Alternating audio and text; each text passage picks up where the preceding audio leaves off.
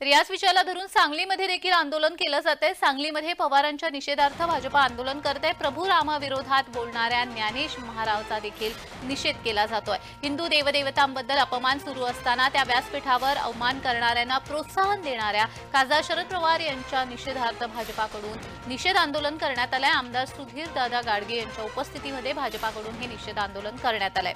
यावेळी यावेळी हिंदू देवदेवतांच्या बद्दल अवमानकारक वक्तव्य करणारे ज्ञानेश महाराव यांचा देखील यावेळी निषेध करण्यात आलेला आहे. विशेष म्हणजे त्या कार्यक्रमाच्या व्यासपीठावर माजी कृषी मंत्री शरद पवार हे देखील उपस्थित होते आणि त्यांनीही हिंदू देवदेवतांचा सुरू असणारं विडंबन पाहून विरोध करण्याऐवजी त्याला दाद दिल्यामुळे शरद पवार यांचा यावेळी निषेध करण्यात आला.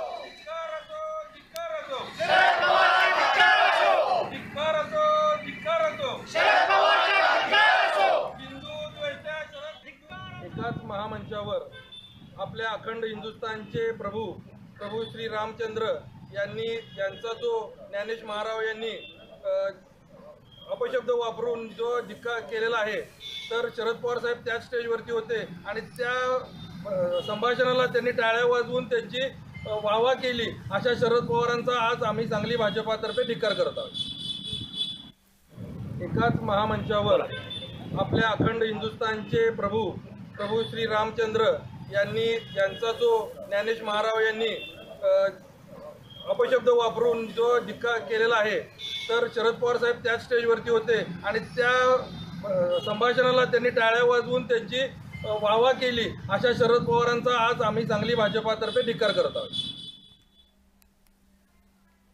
आज आपण सर्वजण एकीकडे गणेशोत्सव साजरा करतोय आणि एकीकडे एका मंचावरती आपल्या हिंदू देवदेवतांना बोललं जातंय. खरं तर ही सर्व ह्या सगळ्या ज्या गोष्टी आहेत त्या आपण सर्व नागरिकांनी बघण्यासारख्या आहेत. आपण सर्वांनी आपल्या डोक्यात उतरवण्यासारख्या आहेत आपल्या मनात उतरवण्यासारख्या आहेत. आणि जिथं असं आपल्या देवदेवतांना बोललं जात आहे तिथं काही नेते त्यांची वाहवा करतायत टाळ्या वाजवतायत. तर अशा नेत्यांना आपण काय करायचं? याचा प्रत्येकाने विचार केला पाहिजे असं मला वाटतं. आज आम्ही सर्व भारतीय जनता पार्टीचे कार्यकर्ते एकत्र येऊन या सगळ्याचा निषेध इथं करतोय. शरद पवारांनी जी काही टाळ्या वाजवल्या वाहवा केली त्याबद्दल आम्ही त्यांचाही निषेध करतोय. आणि सर्व